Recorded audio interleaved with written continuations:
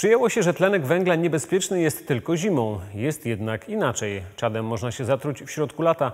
Wszystko z powodu upałów. Kiedy temperatura na zewnątrz jest wysoka, przewody kominowe przegrzewają się, powodując ciąg wsteczny.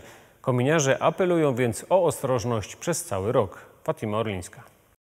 Choć do rozpoczęcia sezonu grzewczego jeszcze trochę czasu zostało, kominiarze mają ręce pełne pracy. Wszystko za sprawą wysokich temperatur, w trakcie których tlenek węgla może być równie niebezpieczny co zimą. Jak wynika ze statystyk Wojewódzkiej Straży Pożarnej, w ostatnim czasie odnotowano kilkaset zdarzeń z ulatnianiem się tlenku węgla, w wyniku czego zmarło 7 osób. Dla takich urządzeń grawitacyjnych jak piecyki gazowe e, z otwartą komorą spalania, jak klatki wentylacyjne są to warunki zupełnie odwrotne do tych, do które zostały jakby przystosowane i, i, i wymyślone.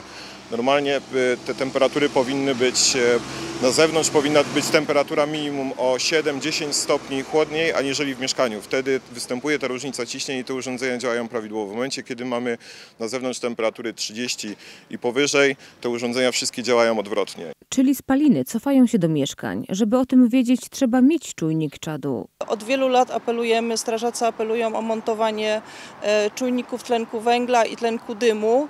E, Oczywiście w sezonie grzewczym mówimy tutaj przede wszystkim o czujkach tlenku węgla. By te spełniały swoją funkcję, powinny być zamontowane w odległości około 1,5 metra od urządzenia grzewczego i nie bezpośrednio nad nim. Użytkownik takiej czujki powinien również dbać o to, by bateria była regularnie wymieniana. Ja na chwilę obecną tam nie mogę na wentylację narze- na, narzekać, nic się tam nie dzieje, mieszkam tam 6 lat.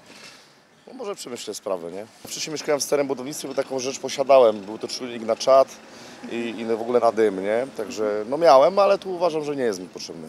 Jak jest bardzo parno i gorąco w łazience, jak się nie otworzy okna albo drzwi, to, to wtedy piszczy. To właśnie częste wietrzenie pomieszczeń, a także drożne klatki wentylacyjne i wywietrzniki są kluczowe dla zwiększenia bezpieczeństwa lokatorów mieszkań z piecykami gazowymi i różnymi piecami na paliwa stałe. Równie ważne są regularne kontrole drożności kominów, które są obowiązkowe co najmniej raz w roku. W sytuacji, kiedy stwierdzamy na przykład y, złe spalanie podgrzewacza gazowego urządzenia, y, przekroczenie na przykład y, emisji tlenku węgla w, w trakcie użytkowania takiego piecyka, odcinamy dopływ gazu i do momentu serwisowania i naprawy i potwierdzenia przez uprawnionego, y, uprawnionego instalatora, że naprawa została wykonana, taki piecyk nie może być użytkowany.